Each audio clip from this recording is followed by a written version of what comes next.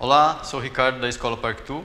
Hoje vou dar algumas dicas para você fazer ajustes simples quando o seu freio é V-brake ou freio a disco a cabo ou freio a disco mecânico, como queira. Mas antes de mais nada, não esquece de se inscrever aqui no canal, dar seu like, comenta e compartilha aí com seus amigos. Vamos lá pro vídeo?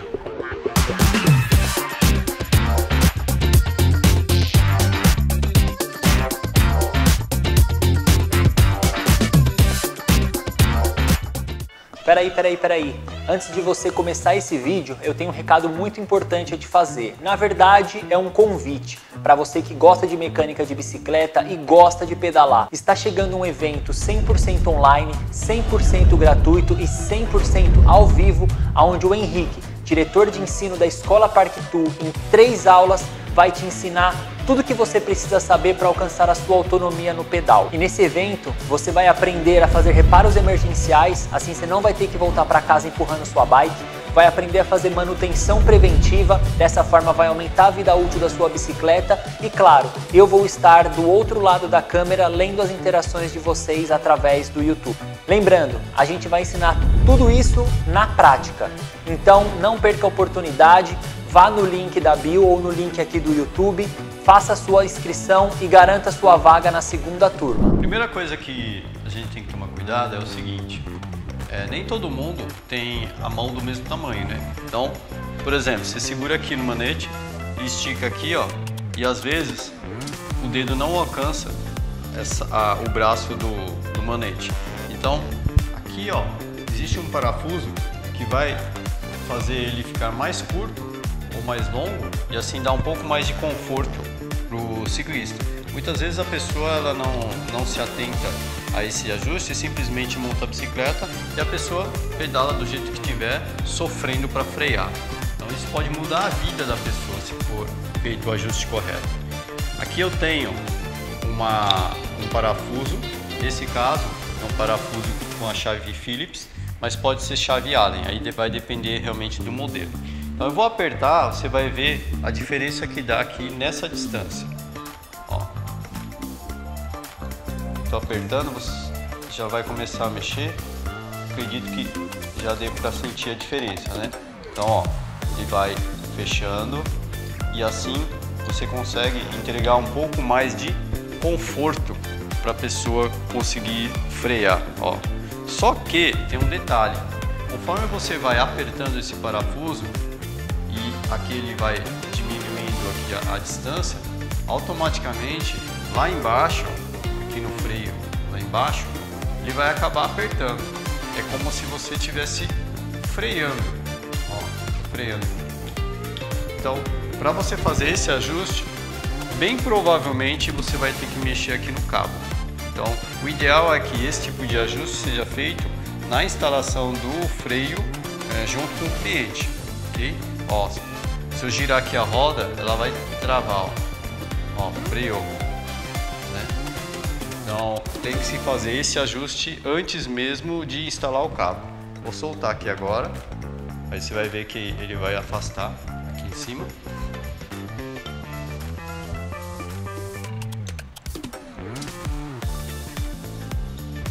Pronto, voltei do jeito que estava antes.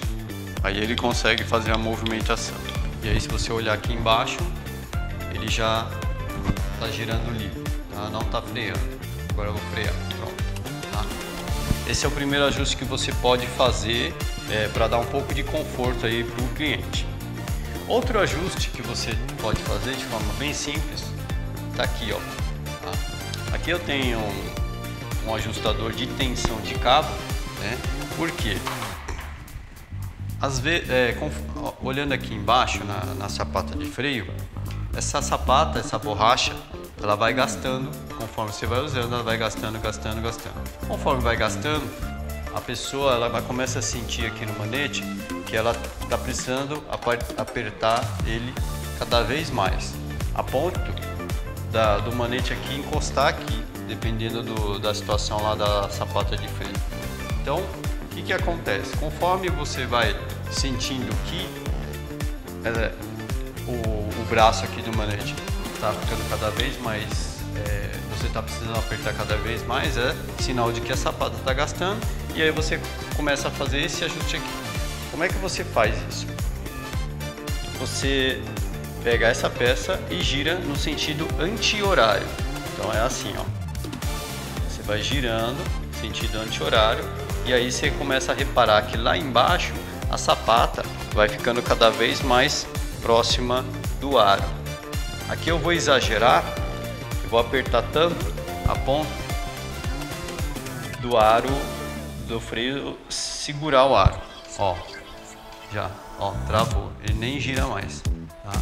Então, aí você já percebeu que aqui em cima, quanto mais eu solto a peça, né, girando anti-horário, lá embaixo no freio ele vai fechando cada vez mais. Então você ajusta ele, vou voltar, ó, sentido horário, e aí lá embaixo as sapatas elas vão vão abrindo. Agora sim, tá? E então aqui em cima você faz o ajuste conforme é, vai gastando e achando um ponto que você sinta confortável no seu freio. Você teve que dar um pouco de, de tensão no cabo, tá vendo aqui ó, tem uma, uma porquinha aqui. Essa porquinha é como se fosse uma trava.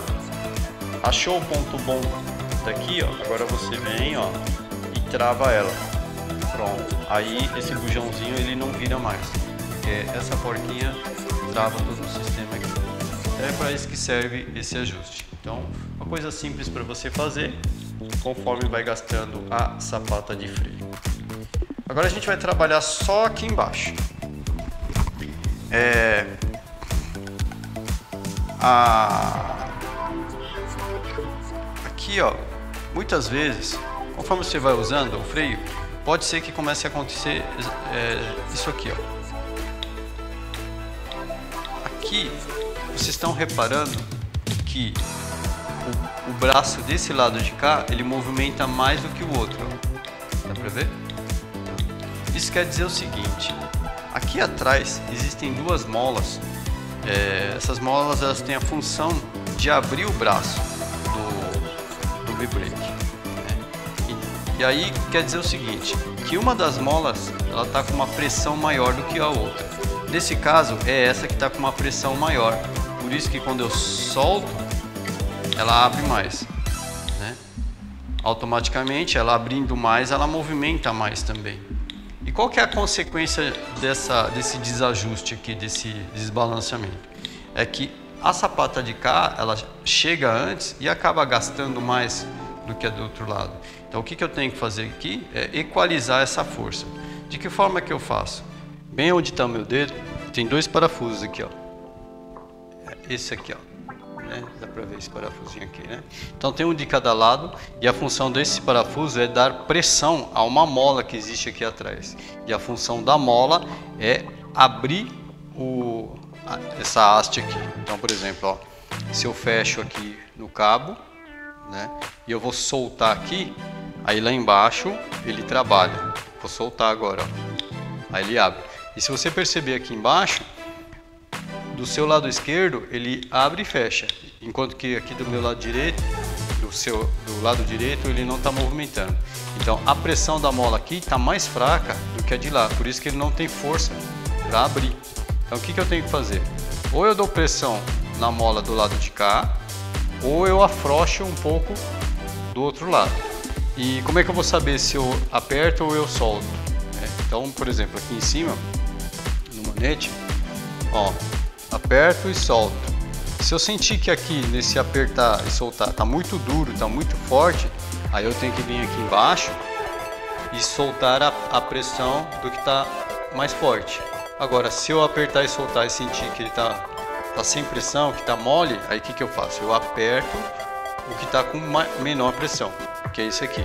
E eu vou fazer exatamente isso, eu vou apertar esse parafuso, você vai ver que a hora que as molas igualarem na sua força, tudo isso aqui vai movimentar para cá.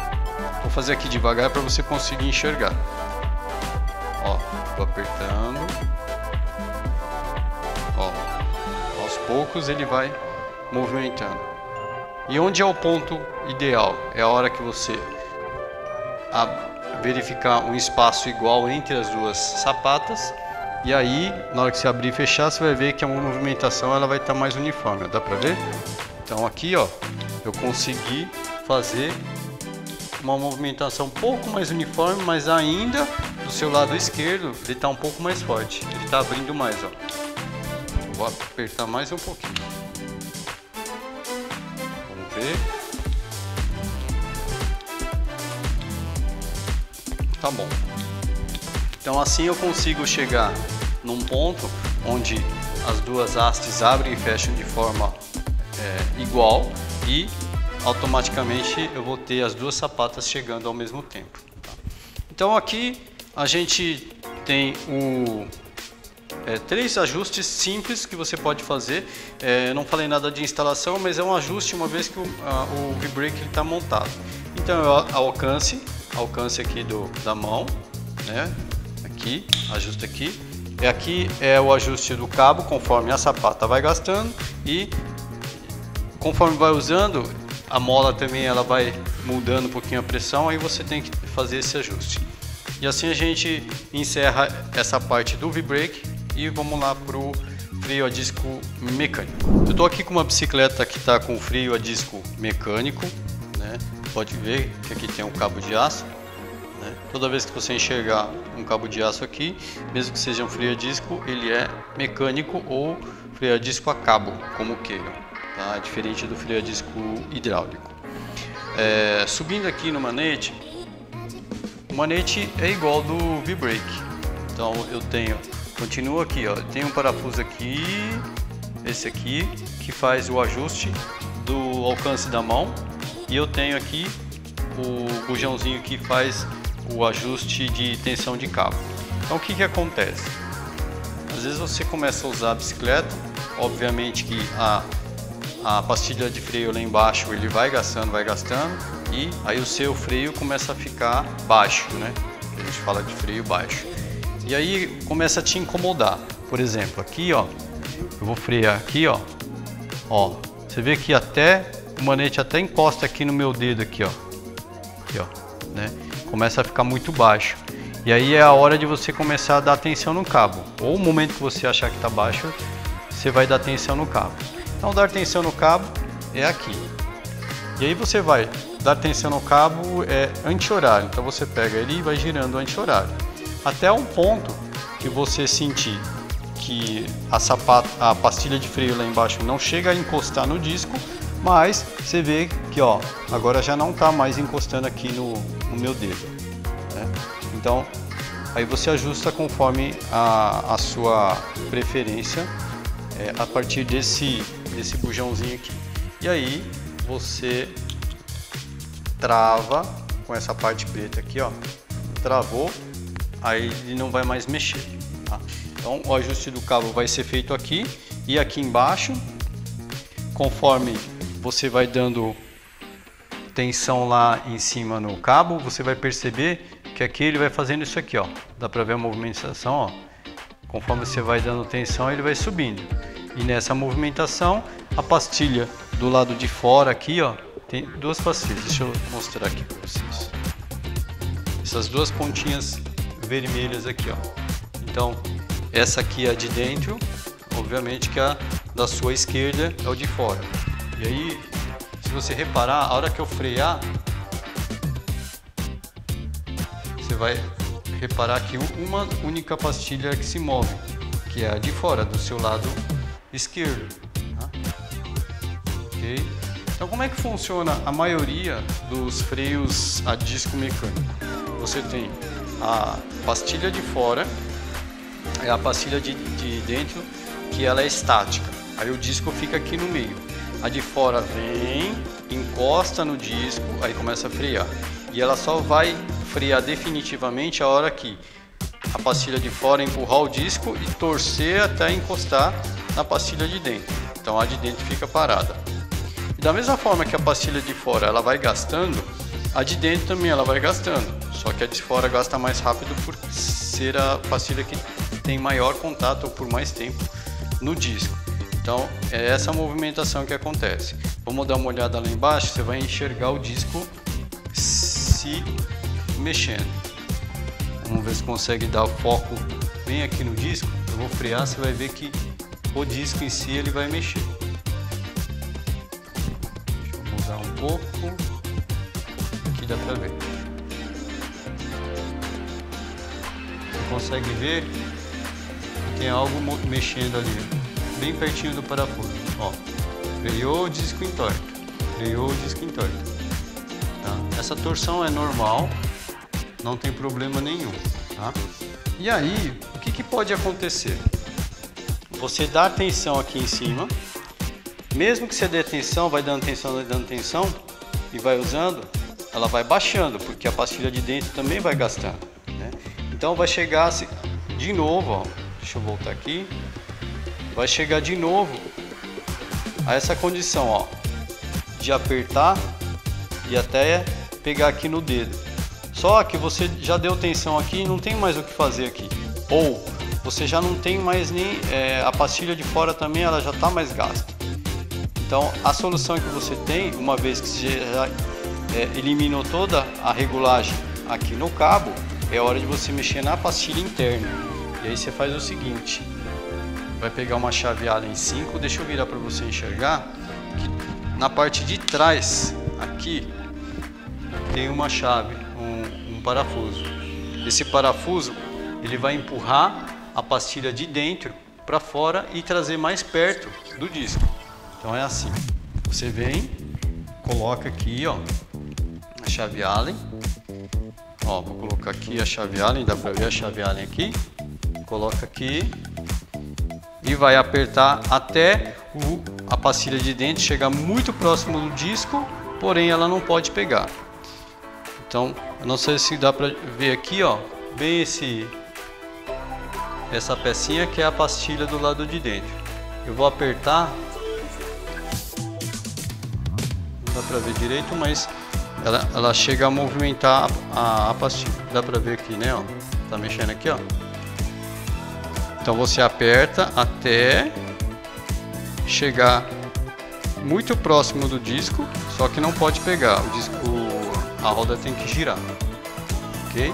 E aí, olha o resultado aqui em cima. Lembra que agora há pouco eu apertei e o manete chegou a encostar na minha mão. Agora com esse procedimento de encostar a pastilha de dentro, ó, ficou bem curtinho. Tá até ruim de frear. Né? Então posso até voltar um pouco se for, se for necessário. Aqui em cima, então ó, então é bem simples esse tipo de ajuste conforme vai gastando a, as pastilhas do freio a disco mecânico. Então primeiramente você vai tentar, vai ajustar aqui pelo cabo para dar mais pressão e a pastilha de fora e ele vai encostando cada vez mais perto do lado do disco e vai chegar uma hora que isso aqui não dá conta. É hora de você aproximar a pastilha de dentro. Tá? Então são dois ajustes aí dois ajustes em momentos diferentes. E fica de olho na pastilha.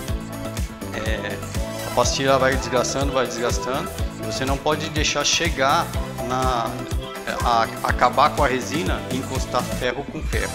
Aí, não, além de não frear, você vai danificar o disco. Então sempre fica de olho no desgaste da pastilha e trocar sempre que for necessário, ok? Então essas foram as dicas aí em relação aos freios a cabo, V-brake e freio a disco mecânico que tem bastante aí no mercado. Gostou desse vídeo? Então não esquece de se inscrever, curtir, compartilha com seus amigos, coloca aqui seu comentário se você tem esse freio, se você tem o V-Brake, se você prefere um ou outro, experiência que você teve e todas essas informações são relevantes para nós para a gente conseguir entregar o melhor conteúdo para vocês, ok? Até o próximo vídeo.